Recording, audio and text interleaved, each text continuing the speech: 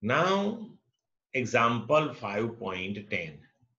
A cyclist speeding at 18 km per hour on a level road takes a sharp circular turn of radius 3 meter without reducing the speed.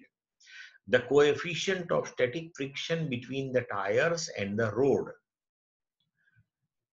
that mu s is 0.1 Will the cyclist sleep while taking the turn? Now see here, speed of the cyclist that is 18 kilometer per hour. So 18 into 5 by 18 that is 5 meter per second. Radius of the curvature that is 3 meter. Mu s that is 0 0.1. Okay. Now here V that should be less than or equal to under root mu s r g. So let's first calculate your mu s r g. So mu s r g that is 0 0.1 that is mu s r 3 g 9.8.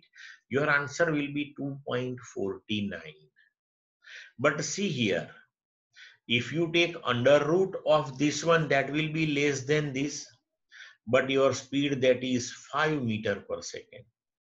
So your speed that is greater than under root mu s rg. So definitely cyclist will slip off from the road. Clear to all of you?